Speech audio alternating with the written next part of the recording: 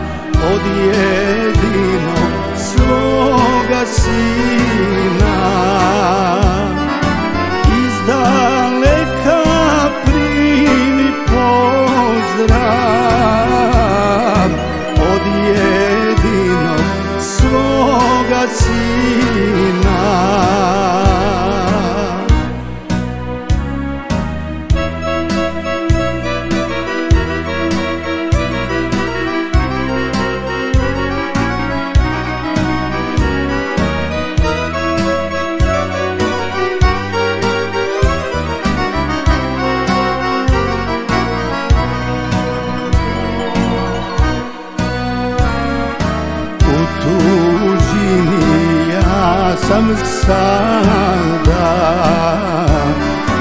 Daljina nas rastavila. Da li ću te ikad više? Ja vidjeti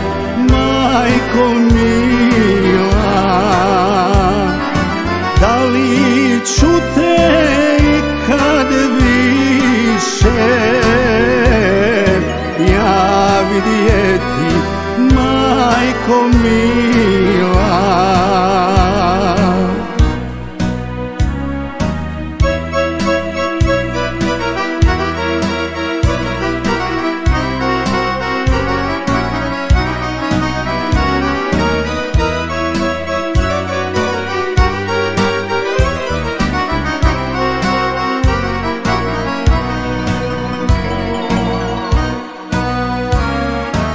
zaboravit nikad ne